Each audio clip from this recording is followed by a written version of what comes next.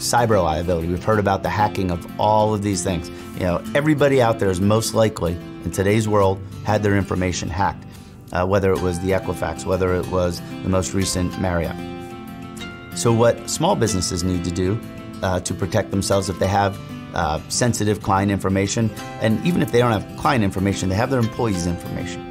So, cyber liability insurance is an evolving policy. The cost has dropped dramatically over the last few years. It, you know, was out there at a high cost probably about five, six, seven years ago um, and beyond. But today, every company should consider it and purchase some level of cyber liability for the sole purpose of getting in contact with the experts if something goes wrong.